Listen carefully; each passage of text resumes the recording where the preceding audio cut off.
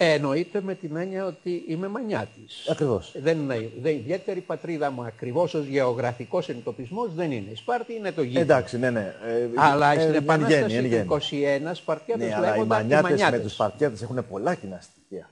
Ε, Δεν μα- έχω- Στην Επανάσταση του 21 οι μανιάτες λέγονταν Σπαρτιάτες. Μμ, σωστά. Ναι. Ε, και στο μυρολόι του Δηρού λέει πολεμούσαν όλα τα Σπαρτιατόγκονα. Συγκλονιστικό αυτό, ε. Α, είναι μυρολόι. Κάποιες αγράμματες γυναίκας που δεν πήγε σχολείο, δεν της τα παιδάσκαλος αυτό. Και υπάρχει και ένα άλλο μυρολόι που λέει εκεί στο μυρολόι αυτό λέει όπου τροάδα ο πόλεμος. Και ήθελα να ξέρα, τα έχουν υπόψη τους αυτοί οι μερικοί σοφοί πανεπιστημιακοί που λένε ότι χάθηκε η επαφή με τον αρχαίο κόσμο. Όταν το μυρολόι το μανιάτικο λέει εμείς το έχουμε το φυσικό απακοή και αγρικητά από τη Σπάρτη ήρθαση. Αυτή η Σπάρτη ε, για μένα ναι, έχει μέσα τόσα πολλά στοιχεία τα οποία έζησα ως παιδί Ακριβώς. στη Λακωνία Αυτό είναι. που δεν είναι ένα βιβλίο που είναι προϊόν γραφείου, προϊόν μελέτης επεξεργασίας. Είναι ένα βιβλίο το οποίο μπορώ να πω ότι με φέρνει σε μια άμεση επαφή με έναν κόσμο ο οποίος υπήρχε μέχρι πρότινο στη Λακωνία. Με τα καλά του και με τα κακά του. Με τα καλά του και με τα κακά του. Δεν έχουμε πάρα πάρα πολύ χρόνο, αλλά για τους Σπαρτιάτες θα, θα ήθελα μία κουβέντα. Μία κουβέντα. Έχουν ε, κατηγορηθεί πολύ ο φιλοπόλεμος λαός ότι ε, δι- πάντα είναι υπέρ της διχόνοιας, ε, πάντα δημιουργήσαν προβλήματα. Τι θα πούμε εμείς; Εκείνο που έχουμε να πούμε είναι πρώτον ότι η Σπάρτη έκανε λιγότερους πολέμους από την αθηνα Δεύτερον, ότι η Σπάρτη ετίμησε την γυναίκα όσο καμία άλλη πολιτεία και κράτος στον κόσμο ως τον αιώνα το δικό μας.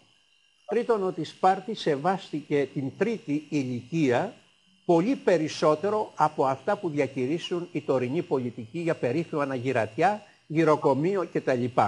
Διότι στη Σπάρτη προσγράφεται ο περίφημος Κεάδας, που οπωσδήποτε είναι ιστορικό ψέμα αυτό το πράγμα. Ναι, ναι, πρέπει να το Ε, τον Κεάδα όμως τον έχουμε εμείς σήμερα, διότι, ας το πούμε, οι εκτρώσεις είναι Α, Κεάδας μπράβο. πριν από τον Κεάδα. Είναι χειρότερο από Κεάδα. Που είναι χειρότερος από τον Γιατί στο Κεάδα. Κεάδα...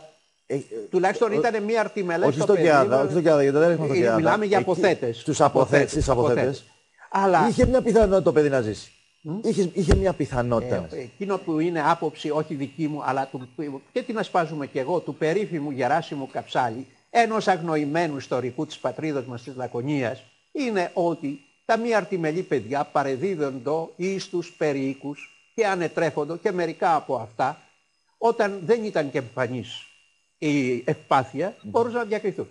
Εγώ θέλω να πω στο εξής. Εάν ήταν κανόνας αυτός το πράγμα, πώς επέζησε ο Μέγας Αγισίλαος, ο μεγαλύτερος Ε, βέβαια. βασιλιάς Σπάρτη, η Ε, μεγαλύτερη βέβαια. Που στρατιωτική δεν- βέβαια, φυσιογνωμία φυσικά, Σπάρτη, φυσικά. που ήταν χολός. Χολός, Λοιπόν, ναι. ας αφήσουμε το πράγμα αυτό και εγώ θα ήθελα να σας πω ότι η Σπάρτη δεν είχε τον Κεάδα που έχουμε εμείς σήμερα σε ό,τι αφορά την τρίτη ηλικία.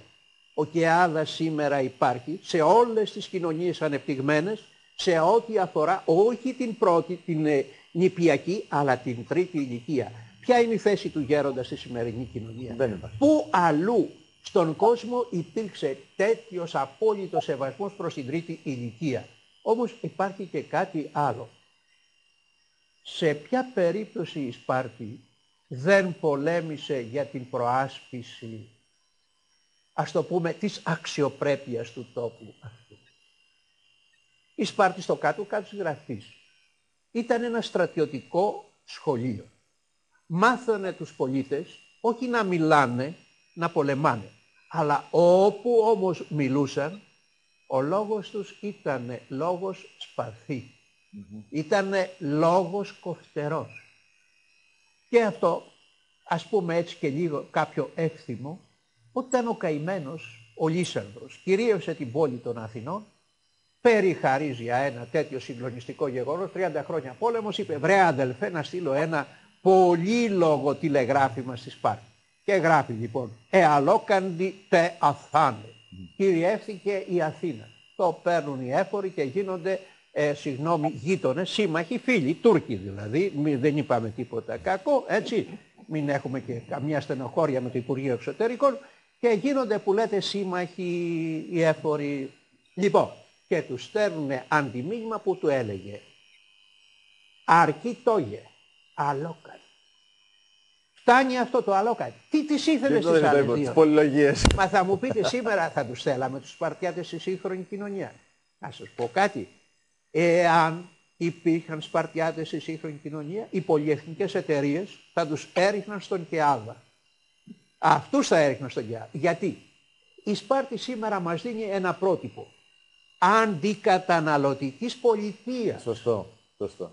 Η Σπάρτη γι' αυτό σήμερα χτυπιέται, διότι είναι αντικαταναλωτική. Και γι' αυτό έχω εκείνο το ωραίο παράδειγμα και μάλιστα στην αρχή, που όταν πήγαν οι κάτοικοι της Στάσου με όλα τα καλά του Θεού στον Αγισίλαο, και ναι. όλα τα καλά του Θεού, λέει ο Αγισίλαος, αυτά τα κρατάμε, αλλά τούτα εδώ, τα καλούδια, τα γλυκά και αυτά, δώστε τα στους δούλους. Διότι αυτά τι κάνουν; Φέρνουν έναν εκφυλισμό, έναν εκφυλισμό. Δηλαδή η πολυτέλεια, η κατανάλωση γενικότερα φέρνει μια μαλάκινση γενικότερα, ας το πούμε, στις κοινωνίες, στους λαούς.